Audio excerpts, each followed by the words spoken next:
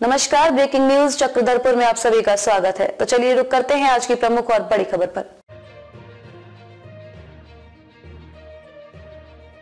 पश्चिम सिंहभूमि ज़िले से तैनात बी एक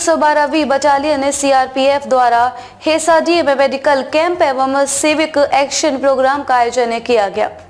खबर विस्तार से। पश्चिम सिंहभूमि ज़िले में तैनात बी एक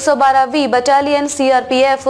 हेसाडी में Pramod Kumar Sahu, A commandant 112 battalion CRPF के दिशा निर्देश में 112 बटालियन के द्वितीय कमान अधिकारी श्री जय प्रकाश सिंह के नेतृत्व में बी 112 बटालियन हेसाडी के कंपनी कमांडर श्री विकास कुमार सहायक कमांडेंट के द्वारा बंदगांव, प्रखंड जिला, पश्चिम सिंहभूम के अंतर्गत आने वाले अति नक्सल प्रभावित गाँव हेसाडी सेंगरा मामला कुगरू गुटू चाकी, कोपा एवं चंपावा इत्यादि के ग्रामीण और स्कूली बच्चों को एकत्रित कर बी एक सौ बारहवीं बटालियन हेसाडी के कैंप परिसर में नज़दीक पंचायत भवन के मैदान में डॉक्टर अभिनव मिश्रा, चिकित्सा अधिकारी 112 बटालियन की देखरेख में एक मेडिकल कैंप एवं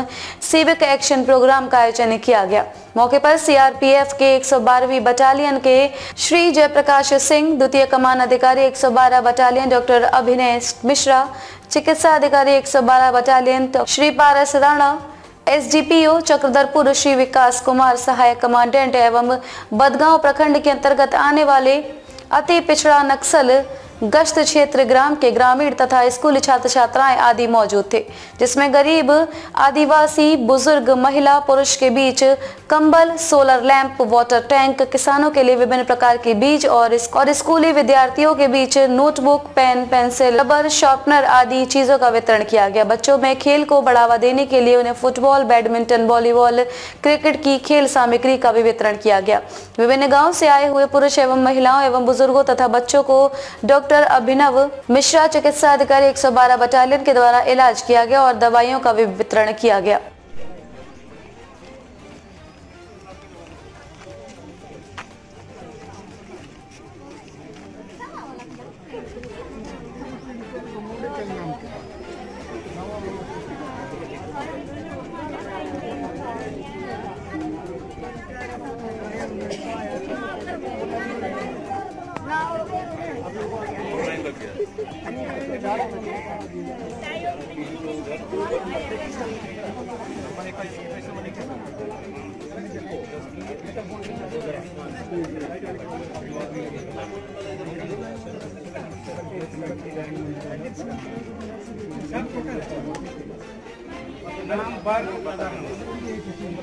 मैडम लिखने बाद में इसमें बैठ का थोड़ा पता लगा अच्छा ठीक है अरे एक साइड में सर यहाँ से मैडम दो लाइन खबरों में अब तक के लिए बस इतना ही फिर होगी आपसे मुलाकात ऐसी किसी बड़ी और खास खबर के साथ तब तक के लिए नमस्कार और देखते रहिए ब्रेकिंग न्यूज़ चक्रधरपुर